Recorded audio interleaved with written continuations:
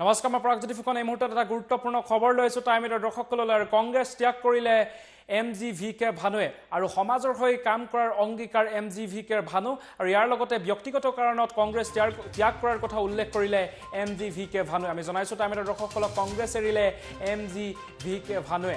আৰু ব্যক্তিগত কাৰণত কংগ্ৰেছ দল ত্যাগ কৰাৰ কথা ত্যাগ কৰিলে এম জি ভি কে ভানুৱে। আৰু সমাজৰ হৈ কাম কৰি যোৱাৰ অংগীকাৰ এম জি ভি কে ভানুৰ।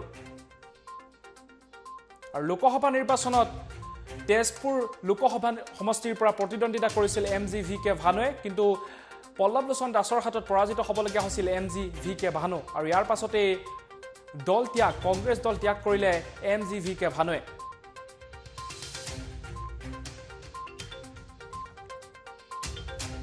আৰু আমি জনাইছোঁ আমি জনাইছোঁ টাইমৰ দৰ্শকসকলক ব্যক্তিগত কাৰণত কংগ্ৰেছ দল ত্যাগ কৰাৰ কথা উল্লেখ কৰিছে এম জি ভি কে ভানুৱে আৰু সমাজৰ হৈ কাম কৰি যোৱাৰ অংগীকাৰ এম জি ভি কে ভানুৰ।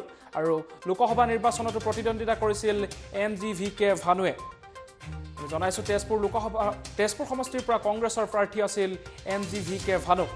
আৰু এসময়ৰ মুখ্য সচিব ৰাজ্যৰ আৰু কংগ্ৰেছ দলৰ হৈ প্ৰতিদ্বন্দ্বিতাও কৰিছিল লোকসভা নিৰ্বাচনত। আৰু হঠাৎ কংগ্ৰেছ দল ত্যাগ কৰিলে এম জি ভি কে ভানুৱে আৰু ব্যক্তিগত কাৰণত কংগ্ৰেছ দল ত্যাগ কৰাৰ কথা উল্লেখ কৰিলে এম জি ভি কে ভানুৱে। আৰু সমাজৰ হৈ কাম কৰি যোৱাৰ অংগীকাৰ এম জি ভি কে ভানুৰ।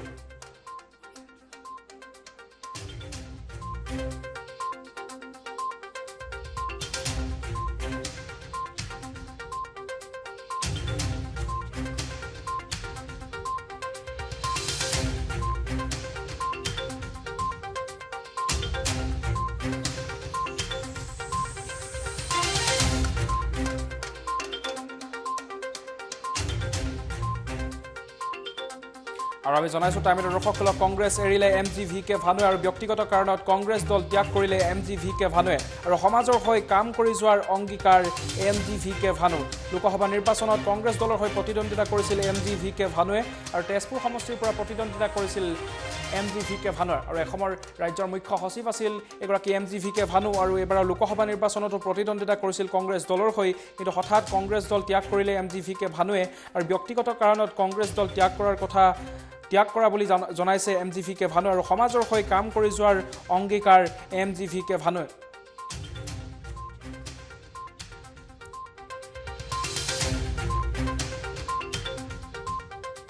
আৰু আমি এই মুহূৰ্তত অধিক তথ্যৰ বাবে সংযুক্ত হৈছোঁ এডিটৰ পৰাগমণি আদিত্যৰ সৈতে। পৰাগমণি আদিত্য হঠাৎ এম জি ভি কেৰ ভানুৰ এই সিদ্ধান্ত আৰু ক- ব্যক্তিগত কাৰণত উল্লেখ কৰিছে যে ব্যক্তিগত কাৰণত কংগ্ৰেছ দল ত্যাগ কৰিছে তেখেতে। কি জনাব অধিক তথ্য?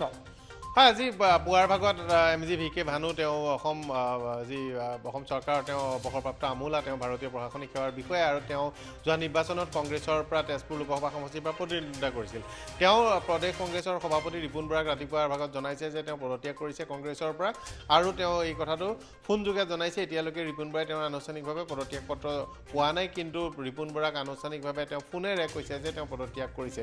আৰু মই ক্ষণে সময়ৰ পূৰ্বে এম জি ভি কে ভানুৰ সৈতেও কথা বতৰা পাতিছিলোঁ তেওঁ জনাইছে যে তেওঁ ব্যক্তিগত কাৰণত কৰিছে তেওঁ প্ৰথম যি মই কথা বতৰা পতাৰ পৰা এটা কথা ধৰিব পাৰিছোঁ বা মই যি ইংগিত পাইছোঁ সেই তাৰ কথাটো হ'ল যে তেওঁ কংগ্ৰেছত টিকেট দিলে তেওঁ প্ৰতিদ্বন্দ্বিতা কৰিলে পৰৱৰ্তী পৰ্যায়ত তেওঁ পলিটিক্স কৰিবলৈ হ'লে তেওঁক সেইমতে পদবী বা সেইমতে দায়িত্ব দিব লাগিব তেতিয়াহে তেওঁ ৰাজনীতি কৰি থাকিব লাগিব।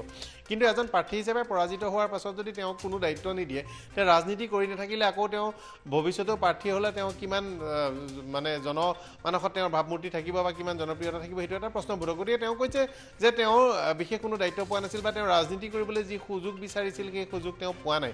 মূলতঃ এই কথাটো তেওঁ জনাইছে আৰু কৈছে যে তেওঁ ব্যক্তিগত কাৰণত তেওঁ দলৰ পৰা আঁতৰি আহিছে কিন্তু তেওঁৰ অসমৰ ৰাইজৰ কাৰণে বা জনতাৰ কাৰণে কাম কৰিব। অন্ধ্ৰপ্ৰদেশৰ এগৰাকী বিষয়া M G V K Bhanu তেওঁ অসমলৈ আহিছিল আৰু অসমত চাকৰি সূত্ৰে আছিলে। তাৰপাছতে তেওঁ অৱসৰ ল'লে। অৱসৰৰ পিছতো অসমৰ পৰা ঘূৰি নগৈ তেওঁ তেজপুৰত এটা ঘৰ সাজিলে আৰু তেজপুৰত ঘৰ সাজি তেওঁ তেজপুৰতেই থাকিবলৈ ল'লে আৰু তেজপুৰত যোৱা লোকসভা নিৰ্বাচনত প্ৰতিদ্বন্দ্বিতা কৰিলে। কিন্তু মই এই মুহূৰ্তত যিটো কথা জানিব পাৰিছোঁ মোৰ ব্যক্তিগত সূত্ৰৰ পৰা যে এম জি ভি কে ভানুৱে অসমৰ পৰা হায়দৰাবাদলৈ যাবৰ বাবে তেলেংগানাৰ ৰাজ্যৰ ৰাজধানী হায়দৰাবাদলৈ যাবৰ কাৰণে তেওঁ সাজু হৈছে আৰু হায়দৰাবাদত তেওঁ এটা মাল্টি নেশ্যনেল কোম্পানীত তেওঁ কাম পাইছে।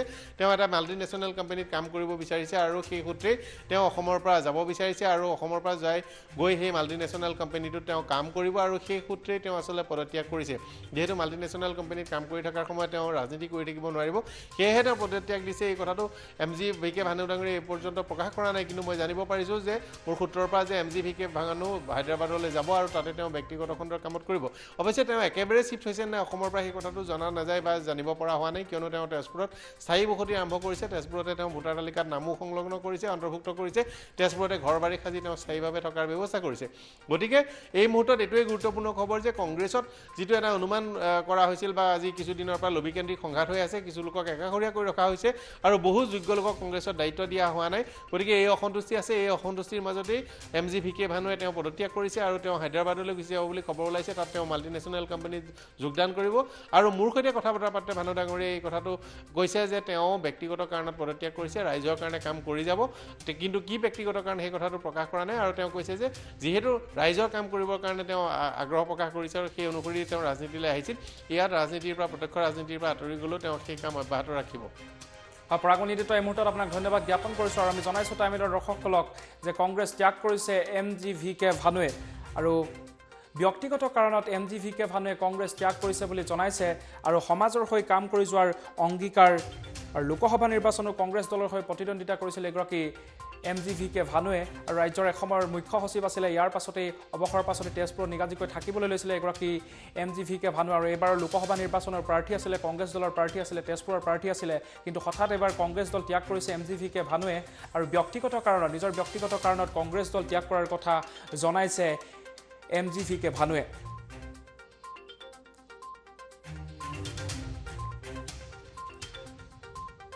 আৰু আমি জনাইছোঁ কংগ্ৰেছ দল ত্যাগ কৰিছে আৰু পুনৰ মুখ্যম আঘাত আঘাত এইবাৰ প্ৰদেশ কংগ্ৰেছত আৰু এগৰাকী কংগ্ৰেছৰ নেতা এম জি ভি কে ভানুৱে কংগ্ৰেছ দল ত্যাগ কৰিছে। আৰু শেহতীয়াকৈ বহুকেইজন জয়নাথ শৰ্মাকে ধৰি বহুকেইজন নেতাই কংগ্ৰেছ দল ত্যাগ কৰা পৰিলক্ষিত হৈছিল। কিন্তু পুনৰবাৰ এম জি ভি কে ভানুৱে কংগ্ৰেছ আৰু এইবাৰ এম জি ভি কে ভানুৱে কংগ্ৰেছ দল ত্যাগ কৰিছে আৰু এগৰাকী প্ৰাক্তন আই এছ বিষয়া আৰু কংগ্ৰেছত যোগদান দি যোগদান কৰিছিল অৱসৰৰ পাছতে এইবাৰৰ লোকসভা নিৰ্বাচনো তেখেতে প্ৰতিদ্বন্দ্বিতা কৰিছিল কংগ্ৰেছৰ হৈ প্ৰতিদ্বন্দ্বিতা কৰিছিল আৰু তেজপুৰ লোকসভা সমষ্টিত প্ৰতিদ্বন্দ্বিতা কৰিছিল আৰু এগৰাকী এম জি ভি কে ভানুৱে এইবাৰ ব্যক্তিগত কাৰণত কংগ্ৰেছ দল ত্যাগ কৰাৰ কথা প্ৰকাশ কৰিছে আৰু ইতিমধ্যে ত্যাগ কৰিছে কংগ্ৰেছ দল আৰু সমাজৰ হৈ কাম কৰি যোৱাৰ কথাও প্ৰকাশ কৰিছে এম জি ভি কে ভানুৱে।